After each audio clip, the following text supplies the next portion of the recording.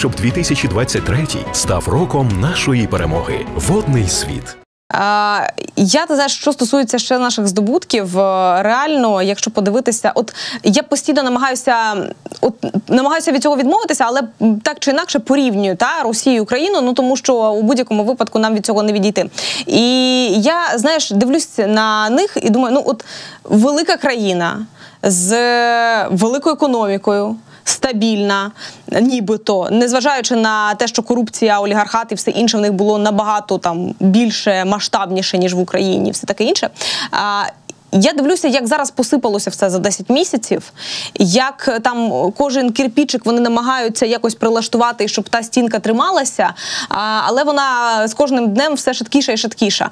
І дивлюсь на нас. У нас війна в країні, на нас напали, нас намагалися знищити, нас намагалися стерти з лиця землі, як стирали е, кожне місто, куди вони заходили з окупацією.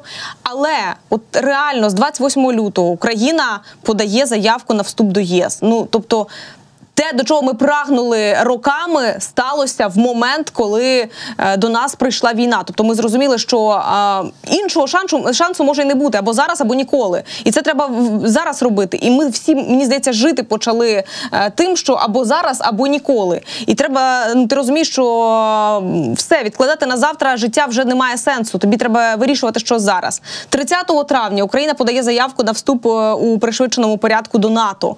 До НАТО. Ми про це думали скільки років з 14 року, щонайменше, але от 30 травня ми подивимо, PayPal у нас відкривається. У нас відкривається там, запрацьовує PayPal. 17 березня е, ми отримали собі е, платіжну систему, якою можемо повноцінно користуватися. Чого чим не може похизуватися Росія? Старлінки, згадай, з першого дня війни ми почали ними користуватися. Теж ті старлінки, про які нам ну не знаю, було досягненням технології. Офіційно вони б до нас зайшли. Ну умовно кажучи, якби е, все було е, за умов мирних часів і ще б там 5-10 років. Ну як мінімум, ми б того всього чекали. Так, прогрес е, за ці роки і е, за ці місяці, бачите, роками їх називаю. Е, прогрес у дуже багатьох питаннях, і Україна реально змінюється на краще за цей час. Так, сплачуючи страшну ціну через руйнування, через оце все горе. Ну менше з тим, ми маємо прогрес, і ну ми не можемо. Ми не можемо з того направду е, не тішитися. Ми бачимо навіть той прогрес, да, от якщо взяти на окремо узятих наших союзників, е, союзниках тих таки німцях. Згадайте, в перші дні війни е, чим німці готові були нам допомагати? Вони давали нам 5 тисяч шоломів і шпиталь е, мобільний. Єдине, що вони навіть не наважилися привезти нам ті шоломи. Вони казали: ну ми давайте до кордону польського довеземо. А от від кордону через кордон ви вже забираєте. Шпиталь вони боялися нам давати. Вони казали: Окей, ми оплатимо виробництво цього шпиталя країнам Балтії, а ви вже в них заберіть. Отак німці вам нам, там буде простіше так, розібратися. Отак німці нам. Е, Допомагали вони і надто не надто воліли нам допомогти, і вони боялися Путіна. Вони боялися Росію. От це також та зміна за 10 місяців цієї війни, що світ перестав боятися Путіна. Світ перестав боятися Росії, світ перестав боятися навіть ядерної зброї. Путін, бачите, навіть е, оцей шанс змарнував лякати увесь світ ядерною зброєю. Він спробував те робити, але вже ніхто всерйоз його не сприймає. І навіть е, цей е, ця лякалка була вже ним профукана.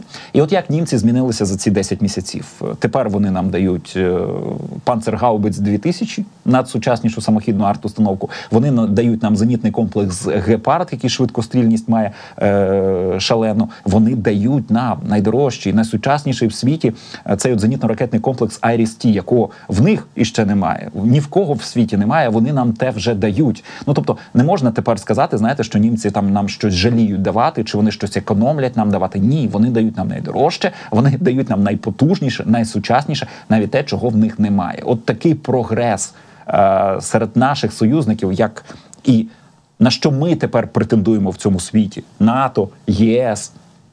Е, як союзники готові нам допомагати, е, як вони реагують тепер на наші дзвінки, на наші вимоги, на готовність з нами зустрічатися з нашими політиками, якою зброєю вони з нами тепер діляться? Ну погодьтеся, та Україна, яка була рік тому, і та Україна, яка зараз це дві зовсім інші України. Е, Як нас сприймають в світі? Там рік тому, е, коли ти був за кордоном, десь ти мав розказувати, де та Україна. То ніхто не знав. що- А якщо і чули, то це десь там це Росія, да, питали, ви русські.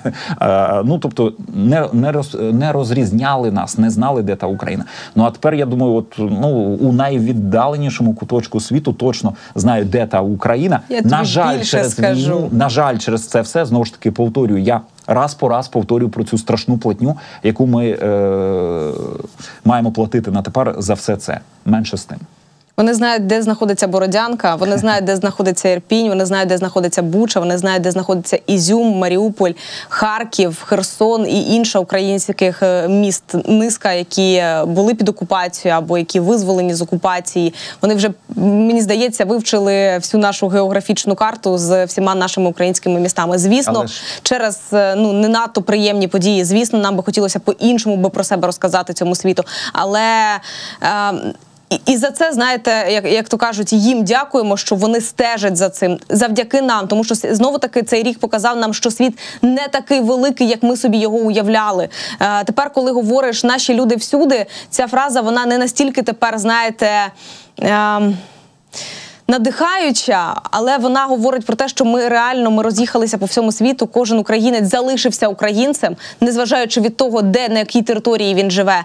І кожен українець на своєму місці розказує про своє місто, про свій населений пункт, про своїх людей, е, про те, що таке Україна, е, як бути українцем, і там залучає цю допомогу. От ми зрозуміли, що світ він менше набагато, чим ми собі уявляли. Тому що ти тепер можеш реально поїхати в тебе знайомі тепер по всьому світу. Мені здається, я знайшла стільки своїх людей зараз, які реально е, сидять і вболівають за Україну, і пишуть щодня повідомлення і е, будь-якою мовою білоруською, е, російською, англійською, і кажуть про те, що слухайте, ми, ми вболіваємо, ми тримаємо за вас кулички. Ми надзвичайно вдячні усім тим нашим українцям, які з закордоння з першого дня війни нас підтримували. Нас особисто так, мене Катю і українців. В принципі, ми дякуємо за ваші слова підтримки. Ми дякуємо щиро, дякуємо вам е, за ваші донати. Ви підтримуєте нас і фінансово також. Е, Ми дякуємо вам за ті слова підтримки, які ви пишете нам в наших соцмережах. Тощо, от ну реально це надзвичайно підтримує і мотивує далі жити, далі боротися з розумінням того, що з підтримкою усього світу ми встоїмо. Бо ну це був страшний момент, коли ми реально боялися, що ми наодинці залишимося з цим монстром. Так, монстром на глін...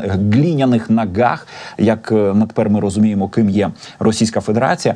Менше з тим залишитися один на один з країною, яка більша е, за населенням в три рази, яка фінансово потужніша, тому що та вона країна бензоколонка, має там безкінечні ці запаси нафти газу. Вони десятками років е, те продають за кордон на тому, з того жирують, з того розбудовують свою армію. Ну це було страшно залишитися один на один з таким монстром. Але коли ми зрозуміли, що ми маємо шалену підтримку наших союзників, е, що ми маємо підтримку діаспори, яка там за кордоном живе, що ви нас не забуваєте. Повірте, це. е, І заспокоює, і мотивує на подальшу боротьбу. Тому дякуємо вам за ваші лайки, дякуємо вам за ваші донати тощо.